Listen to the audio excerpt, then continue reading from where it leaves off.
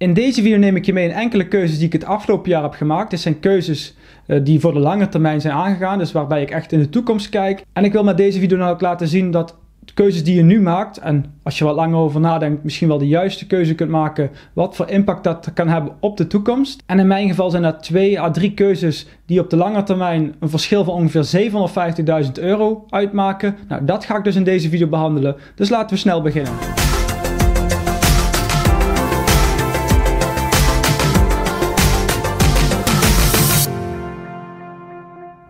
Leuk dat je kijkt naar een nieuwe video van een passiefeinkomen.nl. Mijn naam is Ruud en op dit kanaal maak ik elke week twee video's die gaan over persoonlijke financiën, investeren en beleggen of passief inkomen. Dus zijn dat onderwerpen die je leuk vindt, waar je meer over wilt zien, abonneer je dan hier op het kanaal, dan mis je nooit meer een video. Maar in deze video gaan we dus kijken, in dit geval mijn persoonlijke situatie, welke keuzes ik de afgelopen 12 maanden in principe heb genomen en wat de impact daarvan is op de lange termijn. Ik hoop dat je hiermee dan geïnformeerd wordt, misschien wel geïnspireerd wordt dat wanneer jij voor de keuze komt te staan, dat je wat langer over nadenkt en dat je gaat kijken wat de impact dan zijn op jouw toekomst. En op die manier dus gaat kijken van kan ik de juiste keuze maken voor de lange termijn en wat levert het me op. Zoals enkele abonnees wel weten die al vanaf het begin af aan bij zijn, heb ik nu een maand of acht geleden mijn eigen winkel gesloten. Ik heb toen de keuze gemaakt om in loondienst te gaan om in principe meer vrije tijd over te houden. In die vrije tijd probeer ik dan onder andere aan dit kanaal te werken, wat meer informatie ja, te verzamelen over investeringen die ik kan doen, die ze op lange termijn meer geld moeten kunnen opleveren. Inmiddels zijn we acht maanden verder, het bevalt me prima, de werkuren zijn prima, dat is ongeveer ja, voorheen maakte ik er 60 tot 70. Nu zijn dat er nog dus zeg maar rond de 38. Dus ik heb veel meer vrije tijd. Ook veel meer tijd die ik in mijn kanaal kan steken. En ook daarvan zie je eigenlijk dat dit jaar een behoorlijke groei heb meegemaakt. Uh, inmiddels zitten we op de 1400 abonnees. Best wel goede uh, kijktijd, ook groei. En inmiddels is ook een inkomen uit YouTube. Dus dat is wel een, eh, een positief iets. Voordat we gaan kijken welke keuzes ik de laatste tijd heb gemaakt en wat voor impact dat op de lange termijn heeft, ga ik eerst even kijken naar mijn huidige situatie, omdat we dat op die manier dus beter kunnen ja, vergelijken uiteindelijk. Nou, in mijn huidige situatie heb ik ongeveer elke maand dat ik 300 euro automatisch al in ieder geval al beleg. Um, er komt ooit nog wat meer bij, maar laten we even zeggen 300 euro, want dat staat vast. Ik heb een looptijd van 36 jaar en dat is tot mijn 67ste, dus ik ben nu 31. Dus we hebben nog 36 jaar totdat eigenlijk mijn pensioen begint of mijn AOW.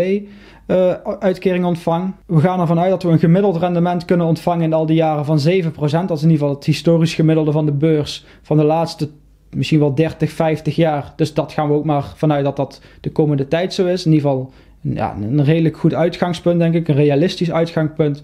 En we gaan ervan uit in de berekening zo meteen dat we met, beginnen met een belegd vermogen van ongeveer 27.000 euro.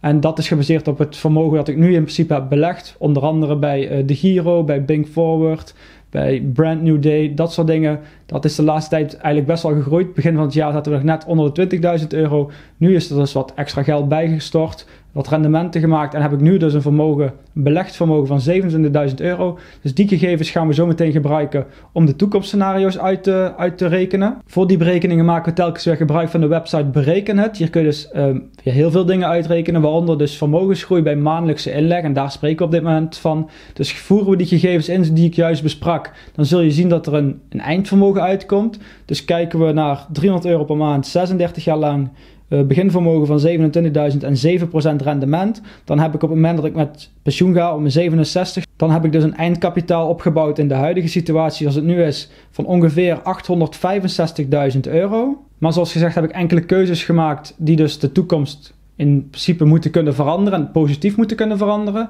Nou, de eerste daarvan is dat ik een tijdje geleden een YouTube-kanaal dus ben begonnen. Uh, dat ik daar inmiddels meer tijd aan kan besteden. Dat ik inmiddels ook de kijkuren en het aantal abonnees heb gehaald bij, uh, bij YouTube.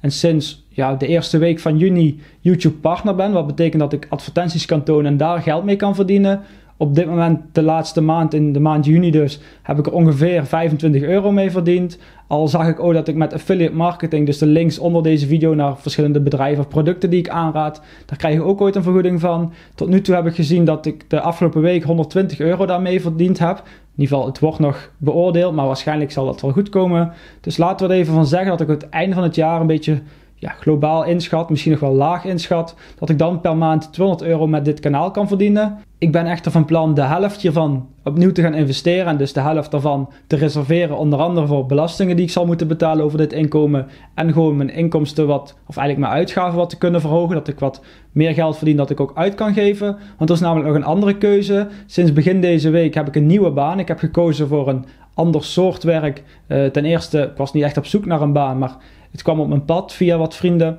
En, ik heb er uiteindelijk voor gekozen. Ten eerste omdat het een fijne rooster is. Ik weet nu dat ik van maandag tot en met vrijdag gewoon kantooruren tijden werk.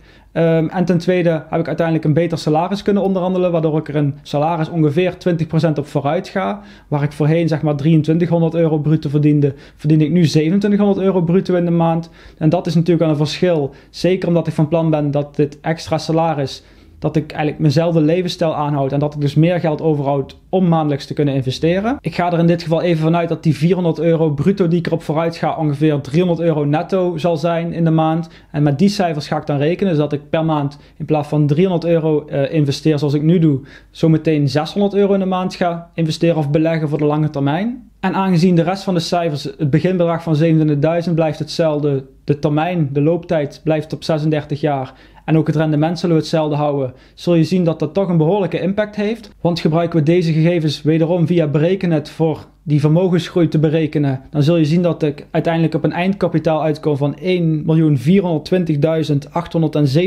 euro. En dan zul je dus zien dat die 300 euro extra in de maand die ik ga beleggen op de lange termijn dus voor, zorgt voor een eindkapitaal wat meer dan 550 euro hoger is dan in mijn huidige situatie. Dus op deze manier, door deze keuze, ten eerste is dat goed voor de korte termijn, omdat ik nu een beter schema heb, waardoor ik elk weekend vrij heb, mijn video's beter kan plannen, ja, eigenlijk beter dus kan werken aan een passief inkomen onder andere. Er zijn nog wel meer ideeën die ik uit wil werken. Daar kan ik nu dus op de korte termijn aan werken. Maar zeker ook omdat ik meer geld verdien, kan ik het, uh, beleggen. En dat is goed voor de lange termijn. Nou, die ene beslissing zorgt dus al voor meer dan 550.000 euro op de lange termijn. Maar zoals gezegd heb ik ook inmiddels een YouTube inkomen. Aan de ene kant vanuit YouTube zelf, ook affiliate marketing.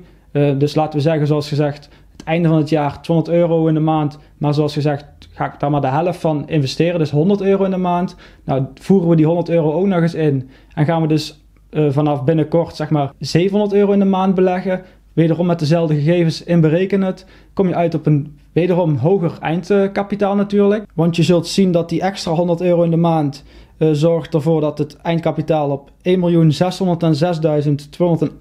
euro uitkomt. En dat is zeg maar 185.000 euro meer dan wanneer ik alleen mijn nieuwe salaris erin zou verwerken. En kijken we dus naar deze 700 euro in de maand die ik dus binnenkort zal gaan uh, beleggen maandelijks dan zorgt dat ervoor ten opzichte van de huidige situatie dat ik uiteindelijk een eindvermogen heb dus van 1,6 miljoen. En dat is maar liefst 741.607 euro hoger dan wanneer ik dus alleen in mijn huidige situatie zou doorgaan. En zo zie je dus maar dat de keuzes die ik de laatste tijd heb gemaakt, ten eerste om meer tijd te besteden aan dit uh, YouTube kanaal onder andere, nou, ook de website en de blog en nog veel meer dingen die er binnenkort omheen komen, maar in ieder geval aan een passief inkomen, dat ik daarop korte termijn al een salaris of een inkomen uit kan halen. Maar ook de keuze van een nieuwe baan zorgt ervoor dat ik meer kan beleggen. Nou, dan kies ik ervoor dat ik een groot gedeelte van mijn extra inkomen dus ga beleggen. Dat ik niet kies om mijn levensstandaard omhoog te gooien. Dat ik echt vooral richt op de lange termijn. Ik zal wel een gedeelte dus gebruiken om nu mijn uitgaven te kunnen ja, verhogen, wat leuke dingen extra te doen bijvoorbeeld. Maar ik richt me dus vooral op de lange termijn. En deze keuzes, eigenlijk twee simpele keuzes, zou je kunnen zeggen, zorgen ervoor dat ik dus op de lange termijn ongeveer 750.000 euro erin vooruit ga. En hiermee wil ik laten zien dat ja, dit soort situaties zijn geen abnormale situaties, denk ik. Het salaris is redelijk normaal. Je kunt ervoor zorgen dat wanneer je je salaris een beetje kunt onderhandelen, dat die paar honderd euro extra in de maand een groot verschil kan hebben op de lange termijn. En ook zoiets kiezen als een passief inkomen in de vorm van een YouTube inkomen in dit geval of affiliate marketing. Ja, het kost je heel veel energie of tijd om het op te starten. Maar als het eenmaal loopt, is het natuurlijk een extra leuk inkomen. Zeker ook wederom voor de lange termijn. En hiermee hoop ik jou te inspireren dat je ook zelf deze stappen waarschijnlijk kunt ondernemen. Kijk eens in je omgeving van is er een nieuwe baan of kan ik misschien over mijn eigen salaris onderhandelen? Uh, kan ik iets doen waardoor ik extra vormen van inkomen krijg? Uh, welke invloed heeft dit op de lange termijn? Ligt eraan hoe jonger je bent, hoe groter de impact is op de lange termijn. Dus kijk vooral naar deze dingen. Misschien ben je er al mee bezig, heb je al plannen? Nou, laat dat dan weten onder deze video, want ik ben erg benieuwd wat je van plan bent. Of misschien zit je met vragen, uh, die kun je natuurlijk hier ook onder de video achterlaten. Misschien kan ik je helpen, misschien kan een van de andere kijkers jou daarbij helpen. Of misschien heb je wel een keuze gemaakt de laatste tijd die zorgt voor een totaal andere toekomst voor jou. Misschien een kleine keuze voor een grote impact. Als je daar ervaring mee hebt, laat het ook weten onder deze video. Want dan kun je misschien dus anderen mee inspireren door je eigen verhaal te vertellen. En kunnen mensen zien dat je echt uh, ja, een vermogen op kunt bouwen zonder enorme bedragen te hoeven te verdienen. Want uh, ja, dit kunnen de meeste mensen denk ik wel verdienen wanneer je een beetje een studie hebt gevolgd. En daarmee zijn we al aan het einde gekomen van deze video. Vond je nou een leuke video? Geef even een duimpje omhoog. Vond je wat minder? Geef even een duimpje omlaag. Laat in ieder geval weten onder deze video wat je goed vond of minder goed vond, zodat ik de video kan verbeteren in de toekomst. Zoals gezegd, als je nog vragen of opmerkingen hebt, laat ze onder deze video achter of kom naar onze Discord chat. Een link daarvan vind je ook in de omschrijving hieronder. En ben je nog geen lid van het kanaal, maar bent nog wel steeds aan het kijken, is het dus waarschijnlijk een interessante video. Zoals gezegd maak ik elke week twee video's over persoonlijke financiën investeren en beleggen of passief inkomen. Nou, deze video geef ik een beetje over alle drie eigenlijk. Maar in ieder geval uh, twee video's in de week. Dus wil je daar meer over zien, abonneer je dan hieronder op het kanaal. Dan mis je nooit meer een video. Zeker wanneer je op het bel-icoontje klikt, want dan krijg je melding wanneer ik een nieuwe video upload. Nou, bedankt voor het kijken en dan zie ik je graag in de volgende video weer terug.